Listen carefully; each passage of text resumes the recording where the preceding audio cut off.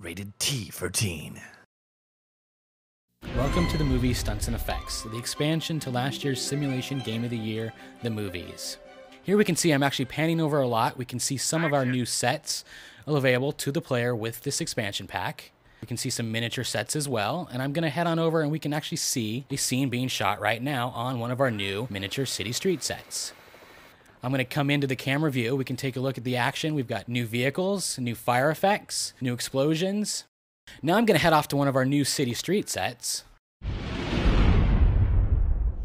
Here we can see our stunt performer getting ready to jump out of a burning building. We can also see an example of some of our new fire effects here as well.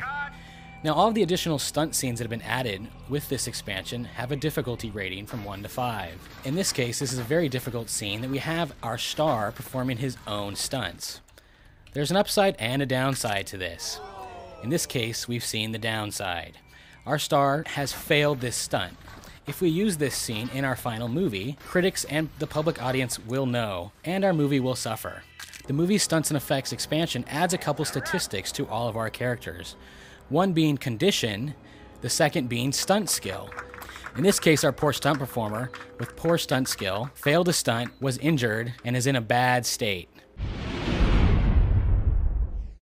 So what we can do is we can bring him over to one of our new facilities. We now have a hospital facility. This functions similar to the rehab and cosmetic surgery from the original The Movies game. We can drop our poor wounded performer into the hospital facility. Now, instead of using a star to film his own stunts, players now have the ability to hire stuntmen. We've got stuntmen and women. We can hire her, and now this stunt performer can double for any star that we assign her to. Now, it's important for players to be aware of the overall looks and physique and gender and age of their stunt doubles and their stars. If you use a stunt double that's not appropriate, your overall movie rating will suffer. Now, what I'm doing here is I'm bringing my stunt performer over to one of our new three stunt training facilities. Here we have our Spartan Torture Training Facility. We can train up her gymnastic skills, which will increase her overall stunt skill. Similar to when shooting a scene, when a stunt performer is training, they can succeed or fail at this training.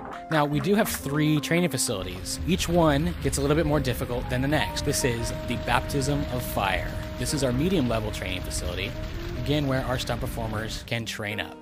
And we have our third training facility, the Danger Dojo. Here, our stunt performers can train up their hand to hand combat skills. Now that we've got our stunt performers trained, players will actually want to create their own movies with stunts in them. If a player is not interested in creating their own movies from scratch, they can head on over to one of their scriptwriting facilities and have the game create a script for them. For those players who want to take direct control of their movie creating process, we can head to the custom script facility.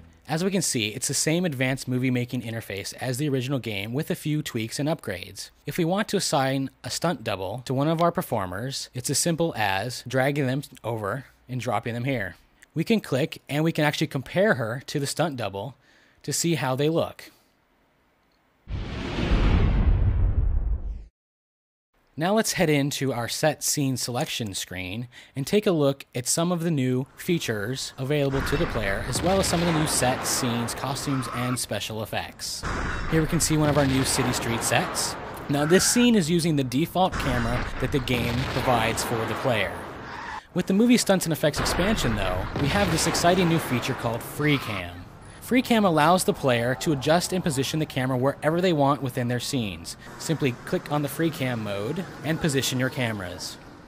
We can click on the new upgraded environment button and see that players, like the original, can add rain, but can now adjust the intensity from a light shower to a torrential downpour. Players can also add wind effects by choosing the various debris that is blown around on the set. Let's take a look at some of our new scenes and sets. Our next scene here is an example of one of our new miniature sets. You also have a new overlay feature. Here's a cool example. Here is our devastated miniature city where we can have actors performing to make our own cheesy monster thrillers. Here's our new scrolling landscape set, which also uses miniatures. You can adjust the backdrop settings, and we can actually pop on out of this camera view and see how the illusion's being done. Our next shot here is an example of our new green screen set, and another shot of this set using one of our new spaceship vehicles. In this scene, we can see one of our new bridge sets, and we also see one of our new backdrops, one of our new rolling backdrops, giving the, the illusion of motion. Here we have an actor falling down, plunging to his doom. It's just a camera trick. Here we can see our new jungle landscape set, again highlighting some of the fire effects. We've also added bullet squibs to our scenes, and one of our most difficult stunts, the car crash. In these scenes, we actually have deforming cars and shattering glass. So overall, you've seen some of the exciting new features in the movie Stunts and Effects expansion. We have new sets, new scenes, new costumes, new fire and explosion effects, and overlays and camera and weather effects, giving players the directorial reins to craft their creative masterpieces.